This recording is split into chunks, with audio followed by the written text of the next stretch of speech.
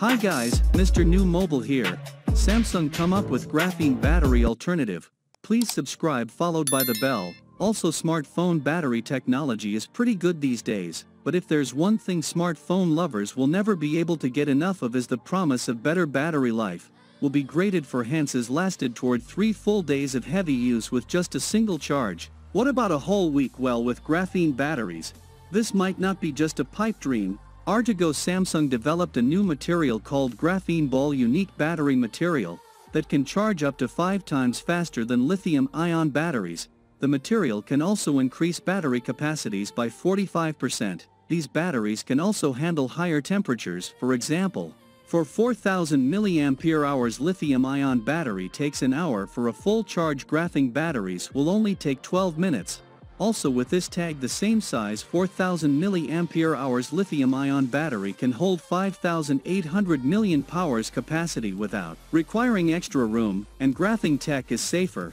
It doesn't overheat puncture or explode like lithium-ion to remove the graphene batteries would allow smartphones to be thinner forever more battery capacity while keeping their current proportions. Also with batteries able to support very high currents and blazing fast recharge and discharge times, discharging speeds can be increased insane levels. The problem is we don't know exactly what in order to commercialize this battery tech on smart phones for hearing about graphene batteries, becoming a viable solution for smartphones were yours at this point.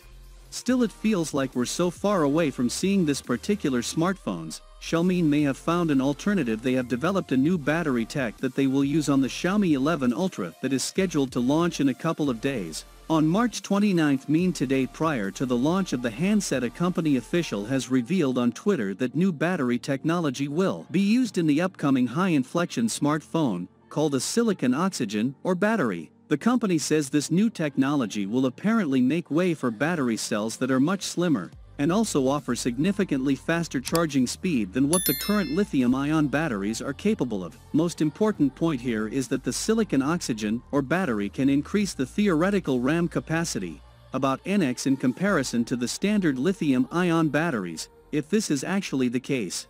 Then it could change the landscape of the mobile industry neurotically can make the same size 4000 mAh lithium-ion battery to hold 10 times more capacity, which honestly sounds too good to be true has to be some caricature unfortunately as you can see no details were given on exactly how they're doing good in question remains as to the exact parent mirrors and specific use of select and also during this battery. Hopefully things will be clear today, if you ask me it's very possible that Xiaomi could still include a typical lithium-ion battery on the Mi 11 Ultra that's simply augmented by a silicon oxygen battery.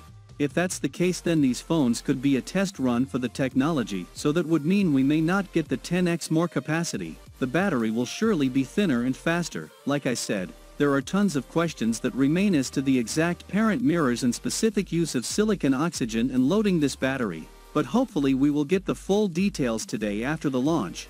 Well having been said let me know your thought on new technology on the comment below, and if you are new here please subscribe, like the video, comment thanks for watching see you on my next video one peace out.